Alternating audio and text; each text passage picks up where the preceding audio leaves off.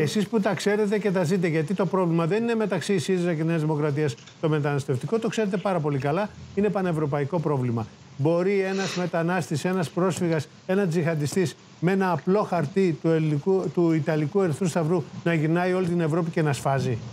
Ναι, κύριε Σαμπόμπρε, κοιτάξτε όμως, στις περιπτώσεις των δρομοκρατικών ε, επιθέσεων στην Ευρώπη, να πούμε τα πράγματα και λίγο ψύχρεμα. Είστε έμπειρος.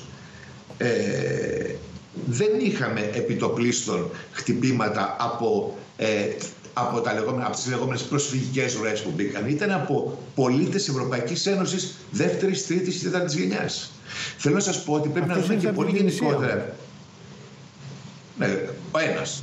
Οι άλλοι, οι προηγούμενοι, Βέλγοι πολίτες, Γάλλοι πολίτες, αυτό σημαίνει ότι πρέπει να δούμε και πολύ σοβαρά τι συμβαίνει και στην Ευρώπη σε ό,τι αφορά τα δικά της προβλήματα που έχει η Ευρώπη με τους πληθυσμούς της.